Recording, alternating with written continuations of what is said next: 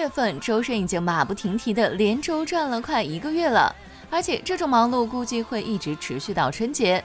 就说这几天，十三日微博之夜，百花迎春晚会录制演唱《繁花依旧》；十四、十五日，央视总台春晚第一次连排；十六、十七日，生生不息嘉年华录制；十八日，上海东方卫视春晚录制演唱《我已渺小爱你》；十九日，北京网络视听盛典录制演唱《身边》。二十日，北京卫视春晚录制演唱《让世界充满爱》。据悉，二十一日，也就是今天，会进行央视总台春晚的第二次联排。昨晚，周深在北京参加北京卫视春晚彩排。今年，他将重新演绎一九八六年发行的歌曲《让世界充满爱》，经典重唱。周深招呼大家大年初一都来北京卫视听他唱歌。周深来了，周深送来《让世界充满爱》彩排。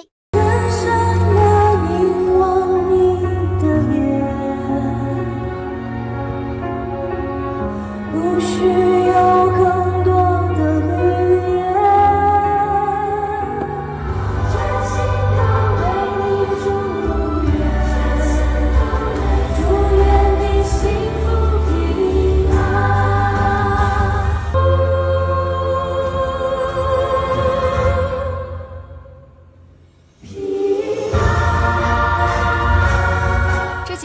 轴转录制节目，看他还元气满满的，状态真的好好。期待周深的舞台。昨天晚上舞台录制完后，还参加了媒体记者的群访。群访阶段，周深再次被问到演唱会，周深瞬间震惊到张大嘴巴，反应了两秒才大喊：“敬请期待！”你倒是说说，三月上海的爆料是不是真的啊？当周深被问到二零二四年的演唱会，这是二零二四年演唱会是什么时候？哇哇！深深你汗流浃背了吧？敬请期待。主打一个蒙混过关。进入采访场地，三百六十度无死角的手鞠躬打招呼的周深太可爱了，真的有一种直接搬回家的冲动，哈哈。然后就被各种卖牌给淹没了，自己都拿不下了。据悉，这是周深第四次来北京春晚。周深自己说，这次演绎的歌曲比自己的年纪都大，充满着温暖和友爱。现场是和小朋友一起合唱，而且不仅仅是中国的小朋友，还有外国的，真的很符合让世界充满爱。是一个非常温暖，然后非常有爱的一个节目。自己在唱的时候，也会就细看歌词都会被感动到。对，也希望大家所有的一些细小温暖的那个动作，都可以让这个世界都充满爱。然后这是首非常经典的歌曲，也希望让所有越来越年轻的或者更年轻的人都能听见这首歌，去传唱这首歌。嗯。在准备这次节目的过程中，有没有遇到什么小小的意外或者是小惊喜？我觉得这次节目，反正每次北京卫视春晚都非常用心。然后这一次呢，在编曲上我们其实调整了很多，然后包括这一次的舞台很多设计，像咱们舞台上有非常多，不仅是咱中国的小朋友们，还有很多就是混血的小朋友们或者外国小朋友们在一起。我觉得这种爱就是全世界的一种爱吧，这种希望可以这种大爱唱出来。对，嗯。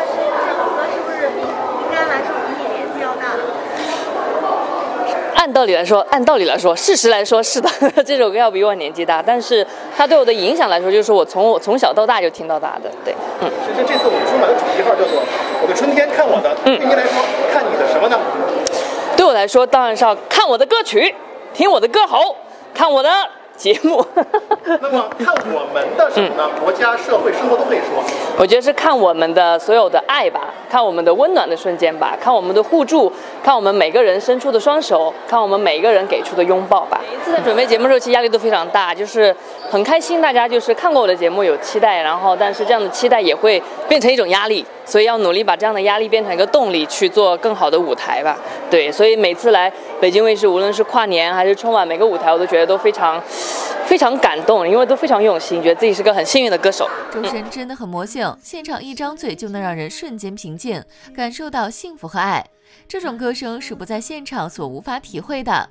在中间休息的时候，周深鞠躬宠溺地看着旁边的小朋友，怎么看都是一个三年级的哥哥在看一年级的小妹妹，哈哈。回顾二零二三年，周深无疑是其中最闪耀的明星之一。他的歌声、他的舞台表现力都让人难以忘怀。在新的一年里，我们期待着周深能够继续为我们带来更多精彩的音乐作品和舞台表演。无论是在央视、北京卫视还是东方卫视的舞台上，我们都会一如既往地支持他，为他加油鼓劲。同时，我们也希望更多的人能够了解并喜欢上周深这位才华横溢的艺人。他的歌声能够触动人的心灵，给人带来无尽的欢乐与感动。相信在未来，周深将继续发光发热，成为更多人心中的宠儿。期待周深在未来的音乐道路上能够继续创造更多精彩的音乐作品和舞台表演。我们很庆幸那个时代没有周深，像这样一个有天分的歌手，说那个时候在我们那个年代的话，那肯定的。所有的奖项都是他。不混，您您您，我的妈呀，南哥您太客气了，对对，谢谢南哥，就是把我抬得这么高，我有点受不了这个抬。因为因为你就是这么高，我我可没有，就是现在再这样聊下去，我可就要飘了，我可是跟南哥。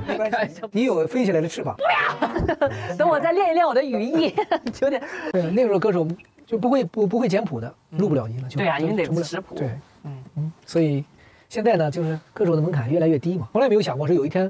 这个音唱不准还能修修好，是 没有的。所以那个时候，想当歌手不容易。对，必须要有一遍过的能力。因为现在也差不多就是一首歌，一般正常是当天，然后但实在不行，也有一首歌录很多天。我第一次录进录音棚就好吓人，就怎么录都录不好。我那个对，就觉得不用那么紧张，很可，一张口就觉得我不会唱歌。我那个当时录的就大雨，第一次进录音棚，然后就录了也是三四天、四五天，中间还休息，就怎么录都录不好，就好可怕。所以我如果在当时，我就会被淘汰。因为在录音棚我很不适应，得亏我活在了现在，周深知足了你。嗯，我我当时第一次录，我还是哎还还是学生，所以那个时候没有太多唱歌的经验，得到的第一次在棚里得到的评价是，你会唱歌吗？真的假的？因为太不习惯了。就是我首先我是从小听着老师的歌长大的，包括读书的时候，一听到我声音比较高，老师都会第一反应，那孙楠的歌你唱得上去吗？都啊，真的，我我们反正我听到就是这样的话，就是说你能唱。你声音高，那你唱一个拯救。那个时候几乎都是这么说的。觉得你这个时候你可以。深深呢，其实对自己要求非常严格，因为他在每一个音乐的处理方面，都有他自己独到的。我相信他这个，他是在家里边有限的时间当中，认真打磨的。这种认真超越了天分，因为他太爱音乐了，就希望把每一个小节都达到尽善尽美。